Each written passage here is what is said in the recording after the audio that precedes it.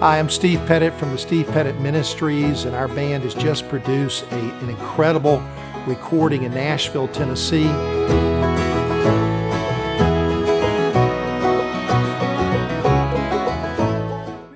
We began this ministry in August of 2023. Formally, I was both a college president and a full time evangelist.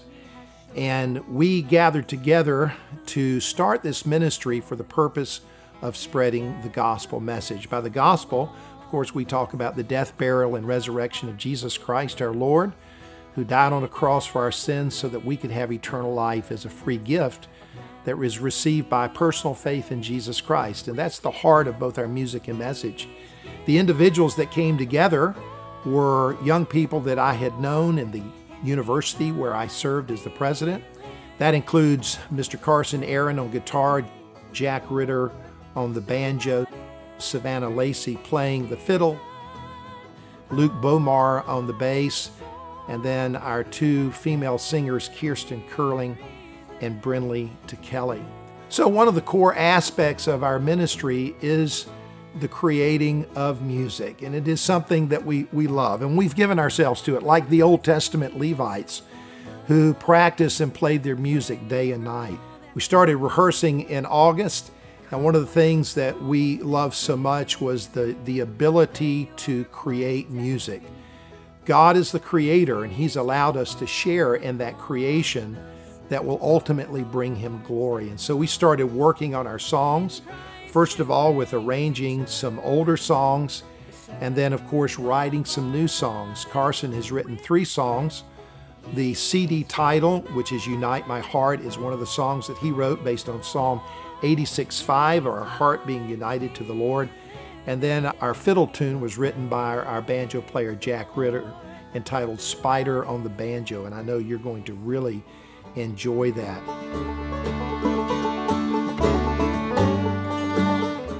We then went out and we began to play these in services and concerts.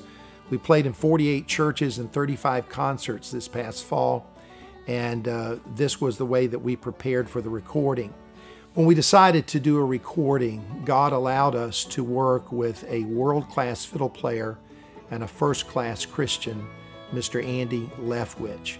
Andy is a studio musician, played for 15 years with Ricky Skaggs and Kentucky Thunder, and he brought together his own set of friends that he's worked with over the years who are either Grammy winners or Grammy nominees. That includes Byron House on bass, Cody Kilby on guitar, Mr. Rob Ickes on the dobro, and Dave Hagan, who is our sound engineer. We recorded at Watershed Recording Studio in Nashville, and it was an incredible experience in every way. Musically, being able to play with these professionals, relationally, getting to know each other and the connection that we had. I think for us professionally, it raised everybody's level up. Emotionally, it was an incredibly joyful experience. And then spiritually, because we know that there's a spiritual connection between all of us that are playing, and then ultimately those songs that will go out and touch the hearts of people. I told our group that I've seen it for years that God uses music and song to touch the hearts of people, and whatever touches the heart will change the heart. And so our hope is that our listeners will be moved closer to God, that they will come to a greater understanding of the gospel, and most importantly, they will come to know the love of God that is in Jesus Christ.